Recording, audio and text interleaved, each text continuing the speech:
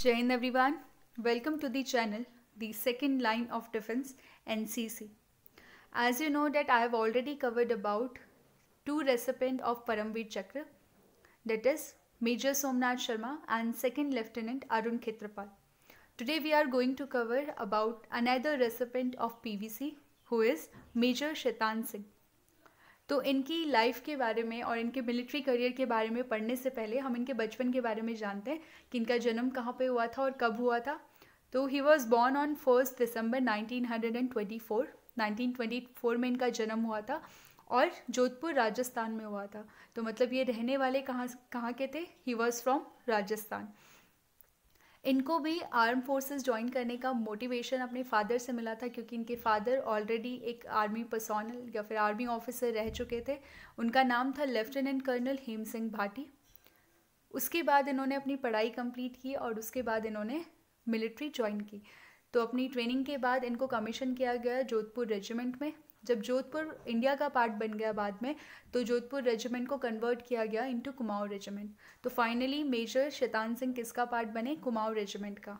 उसके बाद इन्होंने काफ़ी सारे ऑपरेशंस में अपनी भागीदारी निभाई, काफ़ी सारे ऑपरेशंस इन्होंने विटनेस किए.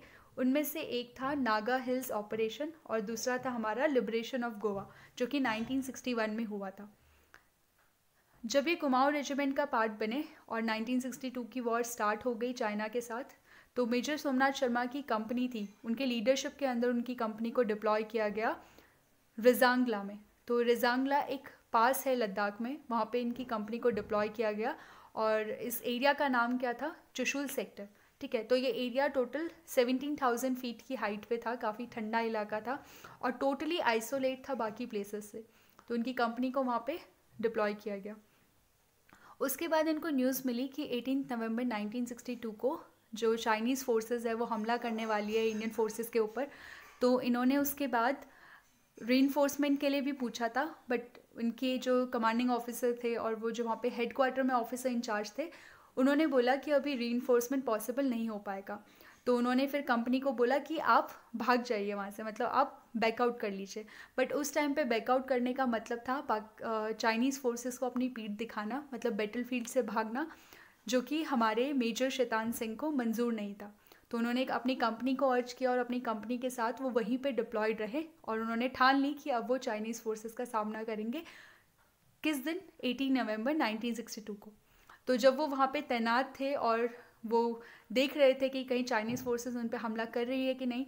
तो उस टाइम अचानक से तीनों तरफ़ से चाइनीज़ फोर्सेस ने हैवी मोटार के साथ हैवी आर्टिलरी के साथ और उनके पास बाकी वेपन भी थे। मतलब एम्यूनिशन काफ़ी ज़्यादा था और मैन पावर भी काफ़ी ज़्यादा थे। उन्होंने मेजर शैतान सिंह की कंपनी पे जो कि वहाँ पे डिप्लॉयड थी उन पर हमला कर दिया। तो उनकी कंपनी को काफ़ी नुकसान हुआ। बहुत सारे सोल्जर्स थे जो इंजर्ड हो गए थे कुछ मार्टियर हो गए थे।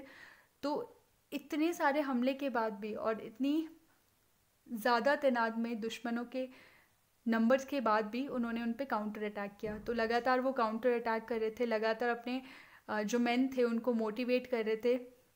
इस टाइम पे जो मेजर शैतान सिंह थे वो अलग अलग पोस्ट पे जा रहे थे। एक पोस्ट से दूसरी पोस्ट पे जा रहे थे, अपने सोल्जर्स को मोटिवेट कर रहे थे और लगातार उन पे काउंटर अटैक कर रहे थे ताकि वो इस पोजीशन से आगे ना बढ़ सके।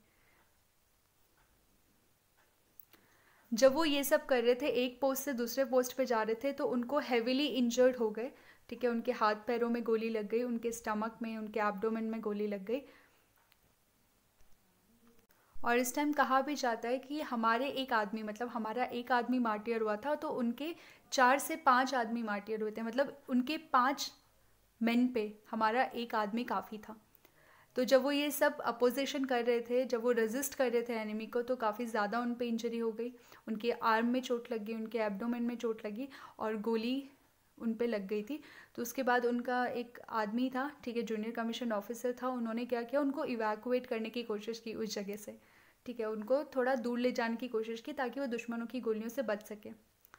तो उस टाइम उन्होंने क्या कहा कि, अपने मैन को ऑर्डर दिया कि आप यहाँ से जाइए। आप दुश्मन को रजिस्ट कीजिए और मुझे मेरे फेट पे छोड़ दीजिए। मेरी किस्मत के भरोसे मुझे छोड़ दो, ठीक है? तुम सिर्फ़ अभी इतना करो कि दुश्मनों को हमला करो, उनको इस पोजीशन से आगे मत बढ़ने दो। तो उसके बाद उनका जो मैन था, उसने उनके ऑर्डर को फॉलो किया और उनको एक स्लोप पे, एक पहाड़ी के ढलान पे उनको रख दिया, किसी पत्थर के पीछे, ताकि वो सेफ़ रह सकें और वो उसके बाद उनको रजिस्ट करने चला गया, ठीक है?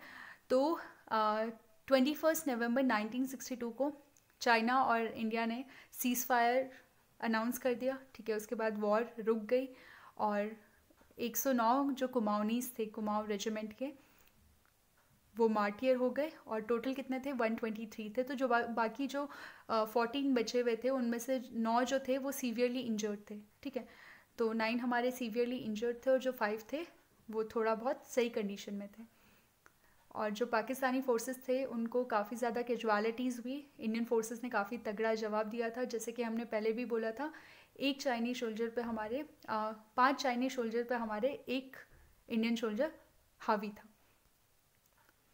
बाद में जब वहाँ पे, क्योंकि हाइट पे था वो काफ़ी तो बर्फ़ काफ़ी पड़ी हुई थी तो तुरंत वॉर के बाद हमारी इंडियन फोर्सेस वहाँ पे मार्टियर्स की बॉडीज़ को लेने नहीं गई। जब तीन महीने बाद वहाँ बर्फ़ पिघल गई, उसके बाद वो सर्च ऑपरेशन उन्होंने स्टार्ट किया और फिर उन्होंने मार्टियर की बॉडी को ढूंढना शुरू किया और उनको नीचे लाना स्टार्ट किया, ठीक है? तो जब वो ये सब ढूंढ रहे थे तो उनको हमारे मेजर शैतान सिंह की बॉडी सेम जगह पे मिली जहाँ पे उनको छोड़ा गया था, ठीक है? तो उनकी बॉडी पूरी गोलियों से लदी हुई थी और बहुत ज़्यादा ठंडा था तो उनकी बॉडी भी ठंडी हो गई थी इतने समय में।